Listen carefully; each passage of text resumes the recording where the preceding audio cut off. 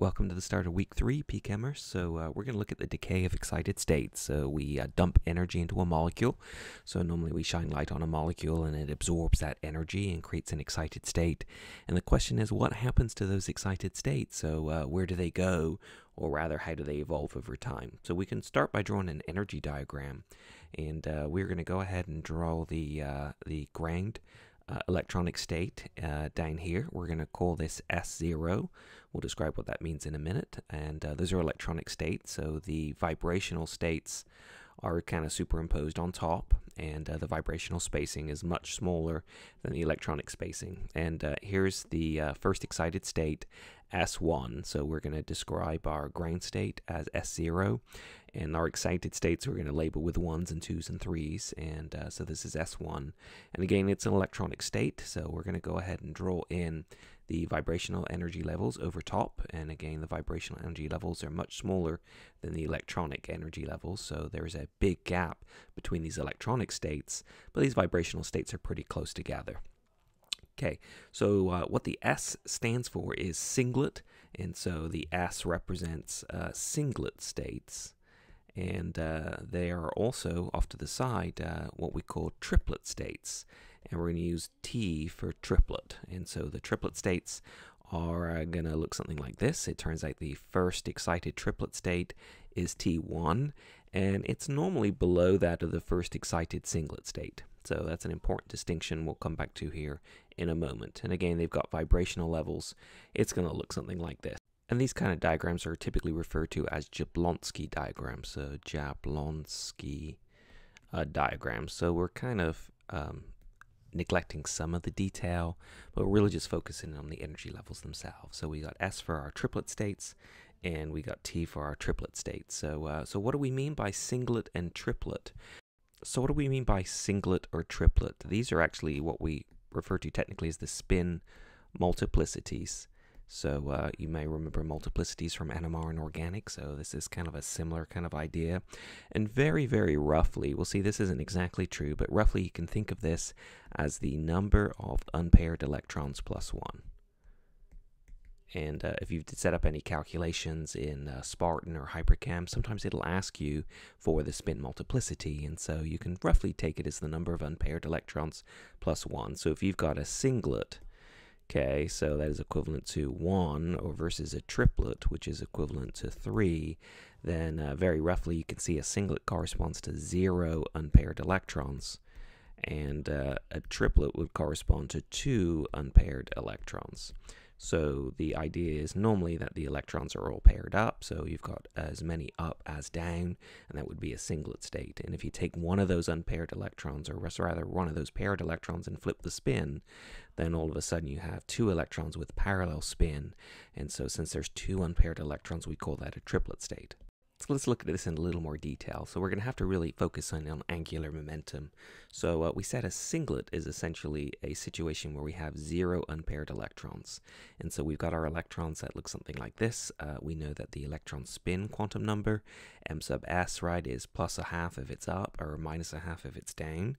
So we've got two electrons here, and uh, we're just going to say the first one is plus a half maybe, and the second one is minus a half. Um, we can talk about the molecule's overall um, spin quantum number, and that's just the sum of all the individual uh, electron spin quantum numbers. So we can see as soon as we have as many ups and downs, we're essentially going to be adding, you know, positive one halves to minus one halves uh, forever, you know, how many orbitals you've got fill. And we can see, of course, that's going to be zero. So where does that get us? Well, um, it turns out that if you've got um, a magnetic spin quantum number, it must come from a, a, spin quantum number s. And we know that s um, has a value, whatever it may be, and m sub s can take values from minus s all the way out to positive s. So uh, if we've got m sub s of 0, that implies that our overall molecule spin quantum number must be zero because that's the only way you can generate that one value. Now, however, if you go to a, a uh, situation where you've got two unpaired electrons and we look at the spin quantum numbers here for each electron. We've got positive one half for this one, positive one half for this one. That gives us an overall spin quantum number, a magnetic spin quantum number of positive one. And again, we ask ourselves, where does this come from? There is a total spin quantum number, S, and we know that m sub s takes values from minus s all the way out to plus s. So if m sub s is positive 1, that implies that s itself should probably have uh, a value of positive 1. Spin angular momentum must behave just like regular orbital angular momentum. Uh, we've got uh, the vector s, I suppose. That is our spin angular momentum. We've met before. These angular momentum vectors tend to lay on the surface of a cone. Uh, we've met some equations. We know that the uh, square length of the vector uh, must be equal to some spin quantum number plus uh, 1 times by itself times by h bar squared. And we also know that the z component of this angular momentum vector must be equal to some uh, magnetic quantum number times by h bar. And we've seen before that m sub s, uh, this magnetic, this uh, essentially the z component quantum number, must take values from minus s all the way to plus s. And I won't go through zero because if you've got a fractional uh, spin quantum number, like a, a, spin quantum number of three halves, that would mean it would take values from, you know, minus three halves, minus one half, positive one half to positive three halves. But if it's integer, then it will go through zero. So uh, this is what we've got so far. So for our triplet state, okay, so our triplet state, okay, which we've said roughly is equal to, you know, two unpaired electrons, uh, more properly, right, we can say there's actually three states here. So what do we have? We have got s equals 1, and we've got uh, m sub s is equal to minus 1, 0, or plus 1. So we might investigate what this means. So if s is 1, that implies that the, uh, the squared length of this spin angular momentum uh, must be equal to 1 times by 1 plus 1 uh, times by h bar squared. So that's 2h bar squared. Uh, we can then say, if you like, that the length of the spin quantum number here must be root 2 h bar. And then if we focus in on the z component term here, so we can see that s sub z is equal to uh, m sub s times h bar. Uh, so that means it's equal to either minus h bar, uh, 0, or positive h bar. So we know two things here. We know that the angular momentum length is uh, root 2 h bar, and we know that the z component is either minus h bar, 0, or h bar. So again, that gives us our sort of our cone model here. And we can investigate this on the next slide. Okay, so for the triplet state, we know that the length of the spin vector is equal to root 2 h bar, and we know that the z component is either minus h bar or zero or positive h bar. So sort of our semi-classical interpretation is that the spin angular momentum vector is precessing around a cone and uh, we've got three possible um, cones going on here. So uh, we've either got uh, one that's pointing in the upward direction. So if we take this to be our z axis and uh, our z component then would be positive h bar here, zero, and minus h bar here. So we know that, that that is possible if the angular momentum sits on the surface of a cone. We can do some trigonometry and figure out the angle of the cone. But we can see that the total length, right, uh, is going to be root 2 h bar, and the z component is h bar. And this angular momentum vector is going to precess somewhere on the surface of this now, if we look at m sub s equals 0, that gives us a z projection of 0, and it gives us still a total length of root 2 h bar. So I suppose it's processing on the surface of a flattened cone, or a disk, or probably a circle, actually, in this case. And if we look at the third projection here, so if m sub s is minus 1, that gives us a z component of minus h bar, and again a total length of root 2 h bar. So that means that our total um, spin um, angular momentum must uh, precess on the surface of a cone, pointing in the downward direction. So since we've got three different states here, um, so uh, three different orientations of the spin angular momentum, that's why this is referred to as a triplet state. And uh, we might have said uh, way back when, right, that this corresponds to two unpaired electrons. And so uh, how can this be possible? Um, there's only uh, presumably uh, two ways you can do it, right? They can both be paired like that, or they can be both paired like that. So uh, what is this third possibility, right? Well, presumably one has to be up and one has to be down. So how can that possibly be a triplet state? And we can look at the individual electron's angular momentum. And again, when we draw that up arrow, we're really just saying that that spin angular momentum vector is laying uh, generally in a positive z direction. So uh, we've got our two ones that are up. They look something like that. Uh, we can sum those together. And if we sum those together, we can see that the overall z length is going to double.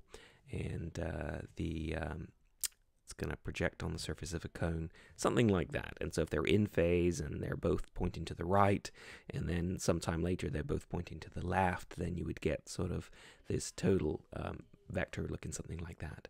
And if we look at the two down ones, so again, when we draw um, a down one, uh, we're not saying that it's exactly down, we're just saying that it's got a z projection uh, in the negative direction. So uh, we can go ahead and we can say that this first down one is going to look something like this, and this second down electron is also going to look something like this. And again, we're pointing those angular momentum vectors sort of in the uh, in the four o'clock position, I suppose. And when we add these up, again, the z components add up, so we get something that's twice as long. And uh, if they're in phase and they're sort of both pointing to the right or both pointing to the left at the same time, we'll have our second state. And so we can kind of identify this one here with this guy up here, and this one here is this one here. So what about this one here? Uh, what is going on here? So we've said we've got one up and we've got one down. So uh, ooh, let's try and uh, be consistent with our pen color here. So we've got one up. So here's our cone and uh, our spin angular momentum we're going to process along the surface of a cone, something like that. Here's our second one that's down. Uh, but what we're going to do is we're going to keep it sort of uh, down and to the right whenever the other one is up and to the right. And so you can imagine when you add those two together, okay, the vertical component is gone, so the z components exactly uh, cancel out. Uh, but because they're both pointing to the right, um, as they process around, and as long as they keep in phase with one another, as they process around, you know, when they're both to the right, this will give us a, a length to the right here in the overall one, and it's sometime later if they're both to the left, then those would give us one that's pointing all the way to the left. So the XY components don't cancel out because they're sort of spinning in phase with each other. And so because they don't cancel out, they reinforce and they give us this third state here.